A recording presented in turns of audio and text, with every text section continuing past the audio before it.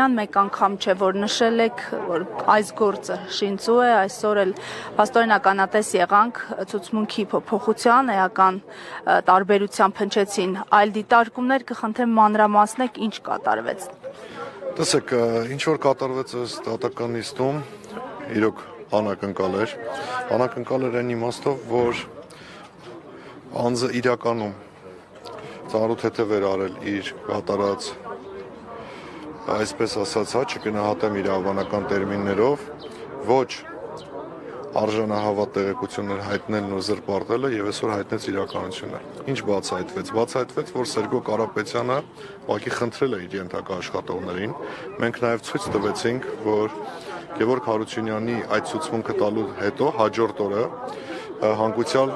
Սամվել Գալստյանն է նույն ցուցմունքը տարածի կրկնել։ Այսինքն այսօր դատական գործով դատական նիստի ընթացքում հիմնավորվեց Սերգո Կարապետյանի ցուցմունքների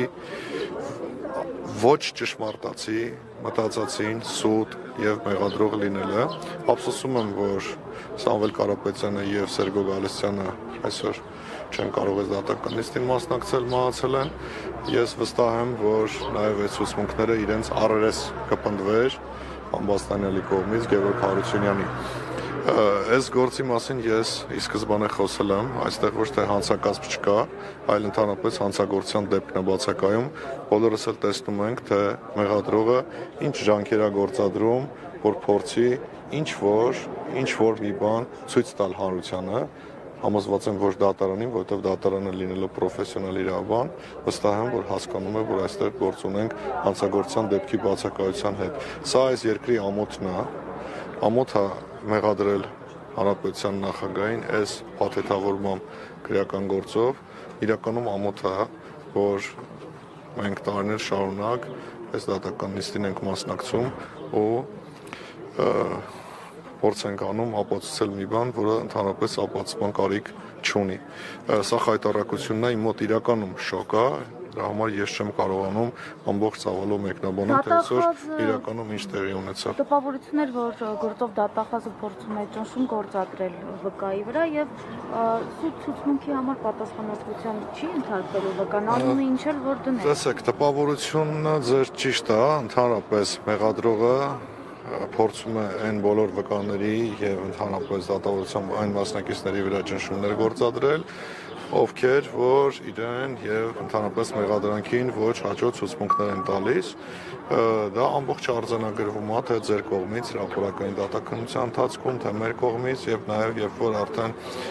բոլոր սահմանները անցնում են նաեւ մենք ենք միջամտում առարկություններ ներկայացնելու տեսքով իրականում այս գործը այսօր վերջնականապես քանդվեց չնայած ինքը չկարել իմ համար ի սկզբանե բայց այսօր վերջնականապես քանդվեց նորից եմ ասում իմ համար շոկային է այս իրավիճակը։ Պարոն Մակինյան, նշեցիք, որ հանրության վրա փորձում էին տպավորություն գործել եւ ստեղծել այդ միֆը, արդյոք նաեւ միտումը այդ միտումով էր այսօր մեղադրող դատախազ ընթերցում Սերգո Կարապետյանի ցուցմունքի այն հատվածները, որոնք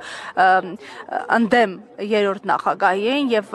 խուսափում էր ներկայացնել այն հատվածները, որոնք ընթերցեց պաշտպանը, որոնք վկայում էին, այն, որ իրականում ամեն բան այնպես չի եղել, ինչպես որ նշում է դատախազը։ Դուք կրկին ճիշտ նկատեցիք, այո, հանրությանը ինչ որ հрамցնելու փորձ էր դատախազի կողմից, դե հիմա եթե դատավարությունը դուրս է եկել այդ սահմաններ, հիմա ես հանրությանը մի բանի մասին էլ հիշեցնեմ, որը ես բարձրաձայնել ու փաստել եմ երևի անցյալ տարի ազատական նիստի ընթացքում։ Մենք ցույց ենք տվել հանրությանը, թե Սերգո Կարապետյանը երբ է գնացել հատուկ քնչական ծառայություն, դա 2019 թվականի սեպտեմբերի 5-ն է, երբ որ իր հերախոսի վերցանումների, այսպես ասած, սելերը ֆիքսվել են հատուկ քնչական ծառայությունում, տեղի ունեցել ոչ քրեադատավարական շփում հատուկ քնչական ծառայության համապատասխան պաշտոնատար անձանց եւ Սերգո Կարապետյանի հետ Սերգո Կարապետյանը դրանից առաջ հարցակնվելով տվել էր այն ցուցմունքները, որոնք որևէ կերպ չեն մեղադրում ոչ մեկի եւ ճիշտ ցուցմունքներ են, իրական ցուցմունքներ են։ Դրանից հետո հաջորդ աշխատանքային օրը, արդեն հոկտեմբերի 7-ին, չգիտենք թե ինչու, բայց գիտենք թե ինչու եւ ժամանակն էլ կգա արգելիներս այդ մասին էլ կխոսենք, թե ովքեր այդ մարդիկ ունեն անուն ազգանուններ, Ես դուք գիտեք, որ ժամանակը երբ որ գալիս է, մենք ասում ենք, մենք չենք պատրաստվում այսօր այդ մարդկանց անուն ազգանուններն ու այն փաստերը, որոնք դրանց մասին վկայում են, ցույց տալ, հրապարակել, ապացուցել, որ տանեն ու արժանացնեն գլխավոր դատախազ Աննա Վարդապետյանի վերաբերյալ քրեական գործի ճակատագրին, որ հիմա ասում են, որ դատական ակտերով հիմնավորվել է Ուրեմն, երբ որ Հայաստանի Հանրապետությունում իրականում կլինեն իշխանություններ, ու կլինի այն արդարադատությունը, որը իրականում արդարադատությունը իրականացնում, կտեսնեք ընդհանրապես թե ինչպես է իրականացվել 18 թվականից մինչ այսօր բոլոր այս տիպի քրեական գործերով նախաքննությունը, ինչ պատվերներ են տրվել, հանձնարարությունները ոնց են կատարվել, այդ հարցի պատասխանը թող պետական մարմինները տան։ Այսինքն կառավարությունն է բոլոր գործերը Ինչ էին խոսում։ Ես կոնկրետ մի գործի մասին կարող եմ փաստել, որ այո, Ռուբեն Հայրապետյանի որդու Ռաֆիկ Հայրապետյանի մեղադրանքի որոշումը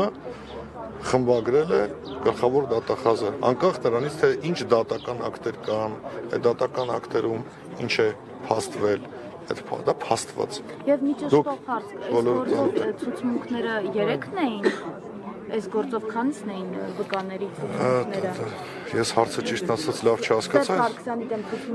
Ուրեմն մեղադրող ցուցմունքներ են տվել Սերգո Կարապետյանը, Սամվել Գալստյանը եւ Գևորգ Հարությունյանը նախաքնության մի որոշակի փուլում։ Եվ Գևորգ Հարությունյանը պարզաբանումներ ներկայացրեց այդ ցուցմունք տալու իրական պատճառների մասին, խնդրանքի մասին, նորից կրկնեմ, որ իրեն ասել են, որ գնացեք, այդպես ցուցմունք տվեք նախագահի դեմ, որովհետեւ Սերգո Կարապետյանը նշել, որ ես այդպես եմ ցուցմունք տվել, որովհետև գործը կարճվելու է եւ մոլորվելով եւ խապվելով, ինչպես ինքը նշեց, Գևորգ Հարությունյանը նա այդ ցուցմունքը տվել է արգելին այստեղ շատ չմնաց մեկ ցուցմունք ինչի որովհետև մենք ցույց տվեցինք որ Սամվել Գալստյանն էլ այդ նույն մեղադրող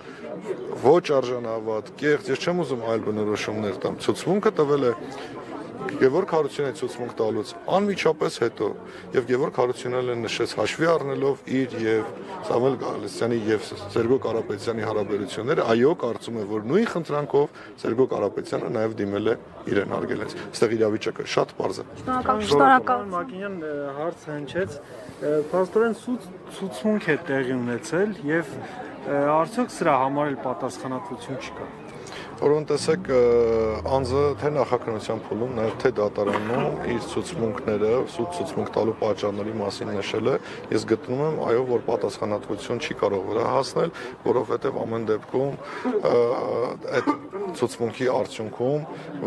որևէ հետևանք այն անձի դատապարտում տեղի չի ունեցել։ Հիմա դատարանի